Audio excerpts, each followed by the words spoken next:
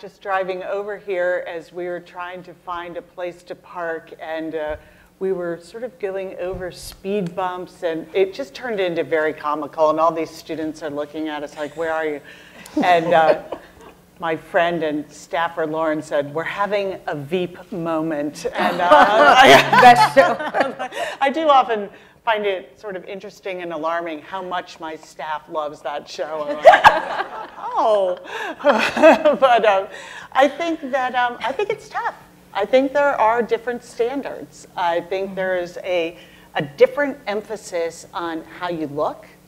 I have gotten questions on how could I, from you know local coverage and uh, on how how could you possibly do this with three children at home you know, I, I don't remember anyone ever mm-hmm. asking uh, any of my other, you know, they all had children. Some of them had infants at home. I can only imagine, as we saw with Governor Jane Swift, mm-hmm. you know, if you have infants at home, the questions you would get. Mm-hmm. Um, I do think, it, you know, the media is looking for a story, but there's also still um, some real stereotypes about women's role and women's role in government and in elected office and sort of where did you get the chutzpah to put yourself out there? And you know it's um, there are some really tough moments uh, and i also think that um, sometimes it can also be hard to get that press.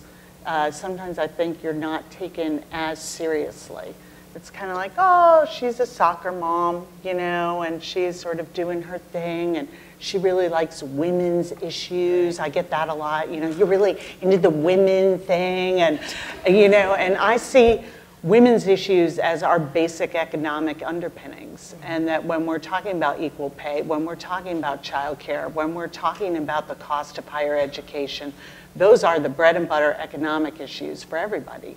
And uh, you know, that these, there's such, but it's still, there's still some of that going on. Uh, you know, one of my first appearances on a local TV show, I got asked about where I bought my suit. Oh, you know, and, and nobody else would have gotten asked that. And it wasn't like they were trying to, they're being very complimentary. But I'm like, really?